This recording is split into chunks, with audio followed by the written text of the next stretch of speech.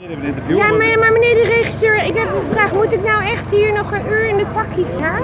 Nee, geen uur. We gaan om twee uur gaan we de officiële foto maken. Tot die tijd mag je het pak wel even uitdoen. En dan komt Cheert ook. En dan komt Seert ook. En Seert gaat in het blauwe Tjeerd- Ja, die hebt zo'n blauw pak aan. Ik Ja, heb hem er die al op komt- staan. Ja. Maar welke meneer moet ik interviewen? Nou, die meneer die net bij me stond, maar nu is hij weer weg. Want die meneer heeft namelijk, die, hij loopt daar, Ja. die heeft de kraan al. Je mag ook die meneer daarin dat, mag je zometeen ook wel met het uh, Ja, maar die stellen de kraan, kraan gratis beschikbaar voor dit project. Dan moeten we ze even in. Ja, dat vind ik ook wel, hè. Hoe heten ze dan?